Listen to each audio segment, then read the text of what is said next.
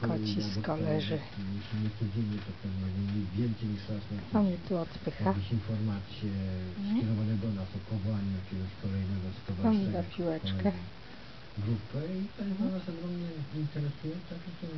To, to Nie machaj tym ogoniskiem. Że, że właśnie No. mamy do czynienia z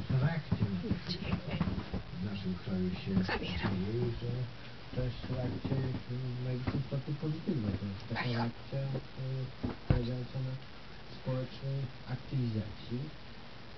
Wiemy także, że mm, dzisiaj mm, wielu ludzi, którzy przez lata żyli na marginesie i na Kaka, chuligany jesteś. bardzo to wychodziło. Mm, Jest w stanie spotykać się w Polsce z dużymi grupami, jest w stanie przekazywać swoją prawdę